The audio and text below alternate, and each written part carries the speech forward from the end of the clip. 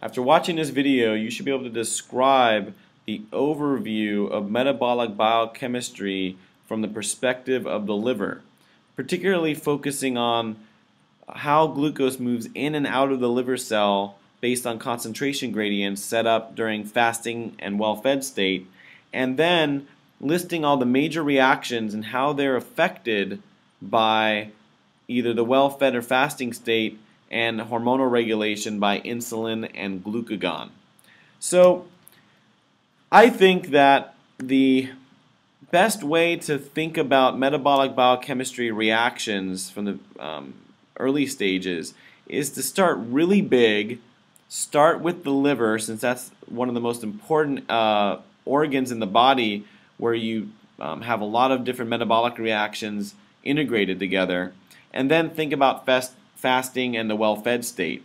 And then once you do that, you can then zoom in on individual reactions and think about the more uh, more detailed um, elements like uh, different uh, reaction steps and enzyme regulation. So thinking about the liver, what we want to do is think of a schematic something that looks like this. Now you can see here that I have a liver cell Okay, it looks real complicated, but we're going to break it down step by step. Um, and, and this liver cell is divided in half because the left side is what's going on in the liver during the fasting state, you know, when you're not eating and glucose is low. And then on the right side, this is, well, what's happening in the liver when you've eaten a meal uh, and you're well fed and the glucose is high. Okay, and you can see that in both cases, you see that glucose simply follows its concentration gradient. Okay, so when there's a transporter present, glucose will um, just simply go from a high concentration to a low concentration. And that's called facilitated diffusion. And the glucose transporters that are on the liver are, are always around, which is really important. Um, you need them to always be around so glucose can go whatever direction it needs to. And, and those transporters are called GLUT2. Keep in mind that the glucose transporter that was regulated by insulin on skeletal muscle and adipocytes that was discussed in a previous video that was regulated, it was translocated to the membrane and inserted when insulin was present and then it was sequestered when insulin was low, um, that glucose transporter was called GLUT4, which is regulated in a much different way. So you can think of these as always being around, constitutively expressed on the hepatocyte, and they simply let glucose go down its concentration gradient. So if we start with the left side, the fasting state, we can see that the glucose is low, we have hypoglycemia, and the liver's uh, important role under this under this particular situation is that it needs to supply the plasma with some glucose to stabilize the plasma glucose and prevent the glucose from going down even further. So the liver is very important for that. And so we can see that in the liver we need to have a high concentration of glucose develop so it can then flow out of the liver cell and supply the plasma which then can go off to insulin uh, independent tissues like the brain or places like that and they can take up the glucose and use it for energy and making ATP. Okay. Now, where does this glucose come from? Well, the, the intermediate that's integral for all the metabolic pathways involving glucose metabolism is glucose 6-phosphate. And we can see here that we're generating glucose 6-phosphate a couple of different ways. First place that we get it from is glycogen stores that are in the liver. And, and the liver is, is, is, a very important location where glycogen is found. Um, and that is going to help supply the carbons to make the glucose 6-phosphate and ultimately make glucose. And so there's the glycogen being broken down. That's called glycogenolysis, okay? And then we have the G6P, which can go off to glucose. And then we also have pyruvate, and you need a couple of them to get together because these are three carbon fragments, that through a variety of different steps that we're not going to go into here called gluconeogenesis, uh, you make glucose 6-phosphate. And in fact, um, we, we, consider this step going from glucose 6-phosphate to glucose also gluconeogenesis too. And we can see that with gluconeogenesis and glycogenolysis, um, in effect, we're going to be getting our glucose uh, to increase inside the liver cell so it could flow out of the liver cell. All right. Now, the interesting thing here is that gluconeogenesis requires ATP. It's an energy requiring process. And so you go, well, where does this ATP come from? And in fact, you might be wondering, where, where does this pyruvate come from? And, and actually, um, in another video, we go into gluconeogenesis. You'll see that this pyruvate was generated from carbon coming into the liver from protein breakdown, like glucogenic amino acids, maybe even some lactate. And, and so this pyruvate is important, you know, as a carbon source. But, you know, when you think about uh, pyruvate in the well-fed state, it goes into the, it goes into the mitochondria, and you and you it go and ultimately makes acetyl CoA and makes um, um, ATP through the uh, TCA cycle and electron transport chain. This pyruvate isn't being isn't being used to make ATP; it's being used for its carbon going back. So where does that ATP going to come from? Well, actually, where it comes from is the fatty acids that are released from adipocytes. Okay, when you break down triglycerides and fat cells, they're released, and the fatty acids are picked up by the by the hepatocytes, and they're oxidized through fatty acid oxidation that, that occurs in the mitochondria, which isn't shown here. And the acetyl-CoA that you get then can go into the TCA cycle, ultimately electron transport chain, and make the ATP, okay, uh, to provide the energy to run gluconeogenesis. So acetyl-CoA going into the TCA cycle, um, also you get a little bit of um, um, energy coming off just from oxidizing fatty acids. That's the energy source to keep gluconeogenesis running. That's very important. And the other thing that happens when you oxidize fatty acids, and another thing that happens is acetyl-CoA, is that it can be shunted, if you have a lot of it, into ketone bodies. For example, beta-hydroxybutyrate or acetoacetate. And those are, you could think of as acetyl-CoA carriers. They, they go into the plasma. They're, they, they, they are acids, so they, they, the downside is they lower the pH. And other tissues can use ketones as a, as a secondary fuel source to generate acetyl-CoA and ultimately make ATP. Okay, so in the fasting state, we have glycogenolysis active, we have gluconeogenesis active, we have lots of fatty acid oxidation, we have lots of ketogenesis, a lot of ketone body synthesis. Okay, and that's all logical based on the idea that you know you have tissues out here non-liver tissues that are running really low on energy. They really want glucose, but also they can use some ketones possibly as a, as a second option. And that's what's going on here in the liver in the fasting state. Okay? And um, I, I, think that's pretty well explained uh, by, by, this, by this simplified um, diagram. Now, if we go to the other side of the coin, the well-fed state, okay, where we've eaten a meal, we have lots of glucose, we want to store energy, right? And, and the liver is a very important place for that. You know, the liver is going to clear some of that glucose. We discussed in another video with the insulin effects that insulin is going to promote glucose uptake in skeletal muscle and fat, and that's certainly important too. But since we're focusing on the liver, the glucose is going to be taken up here too, and you can see that that glucose uptake is going to be very dependent on um, that glucose being phosphorylated to G6P to maintain that concentration gradient so it can be continue to be taken up. And that's actually an important consideration. And once that G6P is made, you know, you can have it go the other way into making glycogen, all right? That's called glycogenesis, all right? And it also can go down glycolysis, the glycolytic pathway, a variety of steps, which we're not going to go into here, and you make type 2 pyruvate. Now see the difference here is the pyruvate that we're, that we're considering here was made from glucose oxidation. Okay, The pyruvate that we have over on the fasting side, that's made from conversion of glucogenic amino acids and maybe lactate. Um, it wasn't obviously made through gly gly glycolysis because glycolysis actually is turned off, as we're going to see in, um, in just a second. So where, where is this pyruvate going to go? Well, it's going to go into the mitochondria. It's going to be converted to acetyl-CoA and the acetyl-CoA under these conditions, they're going to be made ultimately in the fatty acids and cholesterol, and, and, actually those things occur in the cytosol, which we'll discuss later in another video. And you make fatty acids, fatty acid biosynthesis. You remember triglycerides are um, a glycerol backbone. The sugar is going to come off of um, the glycolytic pathway, and you're going to get those fatty acids linked together with the glycerol backbone. You're going to make triglycerides.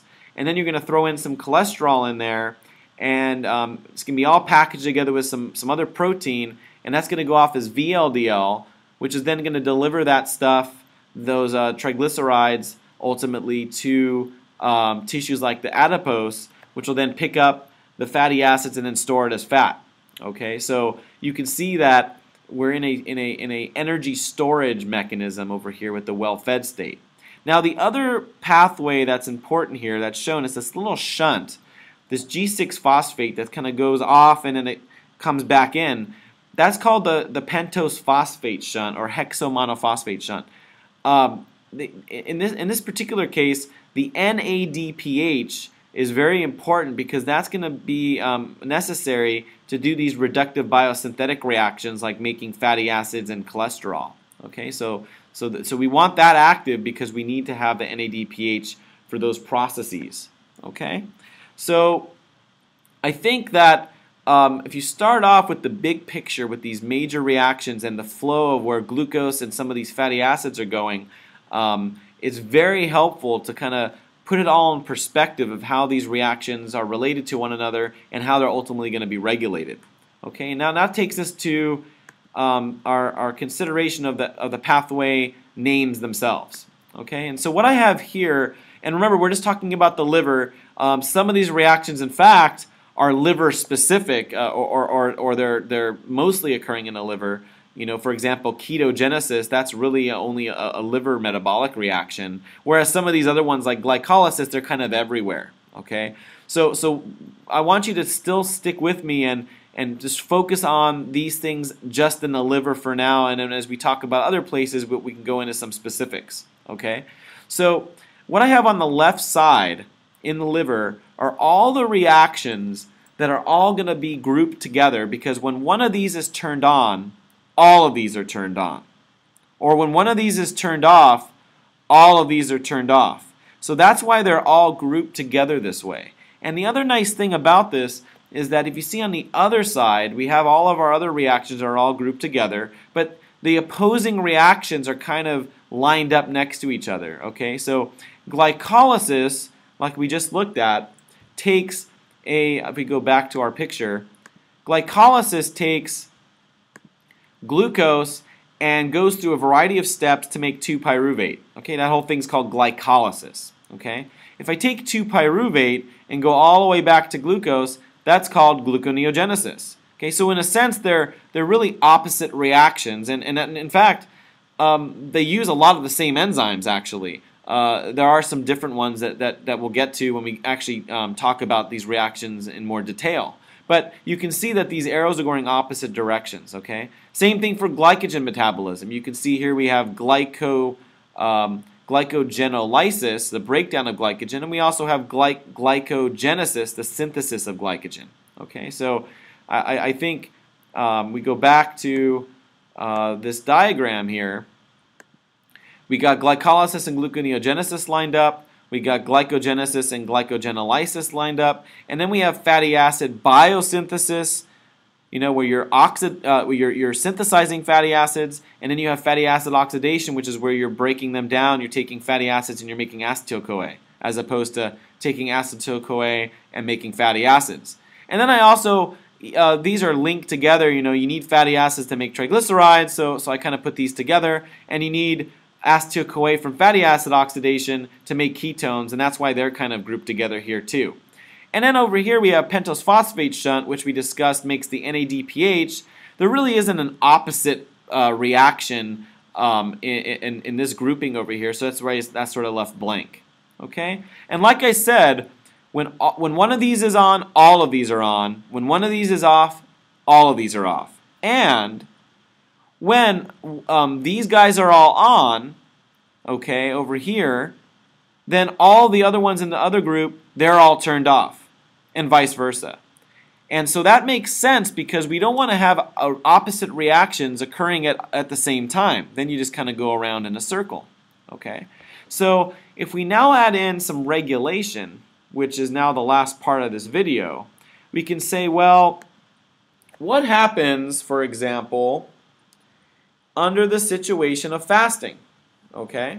So go over here and we can say, well, what happens if we have um, glucagon, right, which would be high during fasting? Glucagon, okay. Well, as you know, glucagon's major function is to raise the plasma glucose. So I don't think it's a big surprise that it's going to turn on all of these reactions.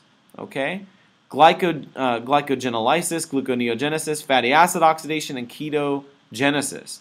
And at the same time, okay, at the same time, glucagon is going to turn off all of these reactions. So you're going to want glycolysis off, you're going to want glycogenesis off, you're going to want fatty acid synthesis and triglyceride synthesis off, and you don't want the pentose phosphate shunt uh, occurring as well, right? You want to be making glucose.